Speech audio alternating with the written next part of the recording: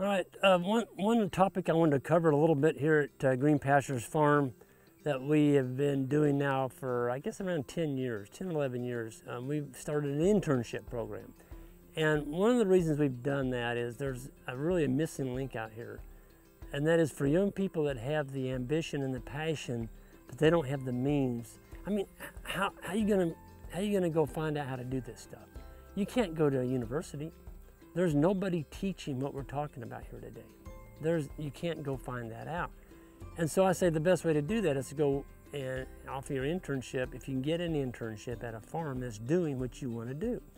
And if you can do that, first of all, you're not going to incur you're not going to incur any debt.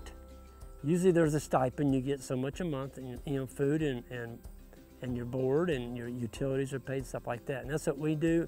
We have an internship internship house on our farm. And so what we're trying to do is teach young people, not even just young, we have some people as old as 40. And, uh, you know, we, we show them the enterprise, what we're doing.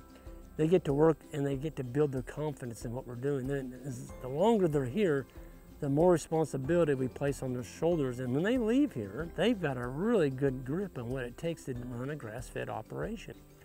And so I think it's something that as farmers, you know, there's What's the average age of the farm in the United States today?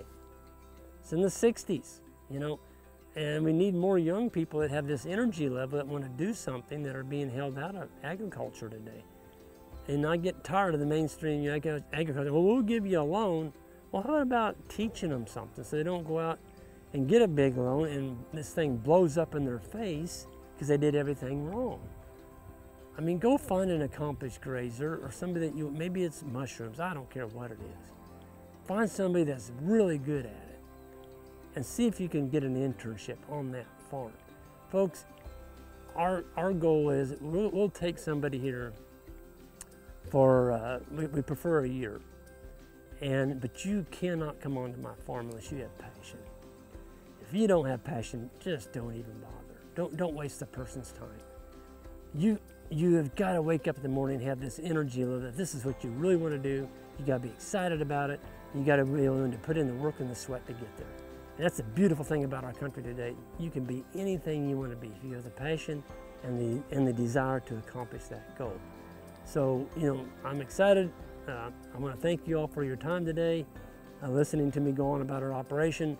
But you know, Jan, Jan and I, my wife, we, we have Green Pastures Farm website. It's greenpasturesfarm.net. You can go on there and find out more about us. There's some articles that I wrote. And you know, everybody just, everyone have a great day and thank you for your time.